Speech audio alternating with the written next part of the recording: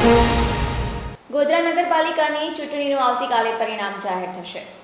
ગોધરા નગરપાલિકાની ચૂંટણી ગઈકાલે એટલે કે અઠ્યાવીસમી ફેબ્રુઆરીના રોજ થઈ હતી અને ચુમ્માળીસ બેઠકોની સામે એકસો સિત્યાસી ઉમેદવારોનું ભાવિ ઈવીએમ મશીનોમાં કેદ કરીને શ્રી ગોવિંદ ગુરુ યુનિવર્સિટી ખાતે તૈયાર કરવામાં આવેલા સ્ટ્રોંગ રૂમમાં મૂકીને સીલ કરવામાં આવ્યા છે.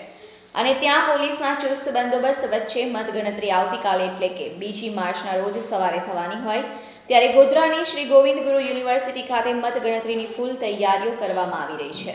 આ મતગણતરી સ્થળની બહાર બેરિકેટિંગની કામગીરી કરવામાં આવી રહી છે. આજે મોડી રાત્રિથી જ પોલીસ કાફલો ખડકી દેવામાં આવશે. હવે ગોધરા શહેરની પ્રજા ગોધરા નગરપાલિકામાં અગિયાર વોર્ડની ચુમ્માળીસ બેઠકો ઉપર કોણે બિરાજમાન કરશે તે તો આવતીકાલે બપોર સુધીમાં ચિત્ર સ્પષ્ટ થવાનું છે. તેમજ આ સ્ટ્રોંગ રૂમમાં તંત્ર દ્વારા કોઈપણ જાતની ઢીલાસ રાખ્યા વગર ઈવીએમ મશીનો મૂકીને સીલ કરવામાં આવ્યા છે અને ત્યાં રાત દિવસ ખડે પગે પોલીસ જવાનોને પણ તૈનાત કરવામાં આવ્યા છે.